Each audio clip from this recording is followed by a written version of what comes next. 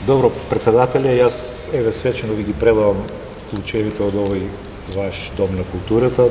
Чекавме еден извесен период да се реновира. Знаете, оти беше тоа една програма на Обштина Струмица која еве ја финишираме. Јас ви посакувам да ги користите во здравје овие простори, да ги исполните со содржини кои што на вас ќе ви представуваат задоволство и се надевам дека ќе продолжиме со некои следни фази и уште повеќе да го оплеменуваме овој овој простор и вашата средина. Знаете дека она што е моја заложба и ваша заложба во многу наши среќавања, зборувавме за приближување на квалитетот на животот во а, населените места до градската средина. Тоа е една заложба за која што ќе се заложиме, еве сега можеме и со задоволство да ви најавам дека напорно работев е, да населеното место да биле да добие канализационен систем кој во следниот многу близок период и ќе се оствари и јас се надам дека во текот на наредните денови ќе дојдеме и ќе свечено ќе означиме и почеток на еден уште многу позначаен проект. Еве, честитам ви посакувам успех и здравје. Изразувам една голема благодарност како од моје лично име, така и од граѓаните на село Дабиле за добрата соработка меѓу местната заедница и градоначалникот Јанев, исто така и Советот на Обштина Струмица.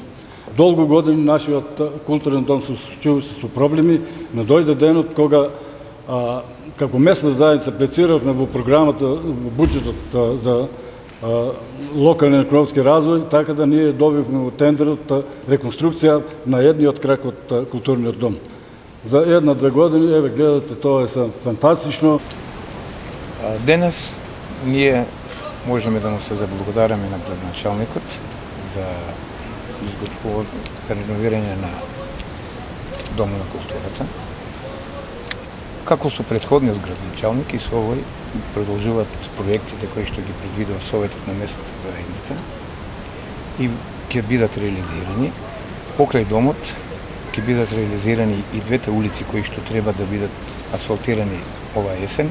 Тоа е од улицата позади самото школа, од Чонев Ристо до Темелко Ганчо и улицата која што е на горниот дел од населеното место, а поврзава голем дел од селото, му благодараме на градоначалникот и да во иднина колку што може да ни овозможува да не реализира повеќе проекти, инако во Костурино има реализирано доста проекти од предходниот градоначалник, така да и овој градоначалник јас сметам дека ќе го продолжи трендот на предходниот градоначалник. Јас се благодарам прво прво на општината, што толку значи ни помогнаа за домо, уравномира, се уред по најубаво.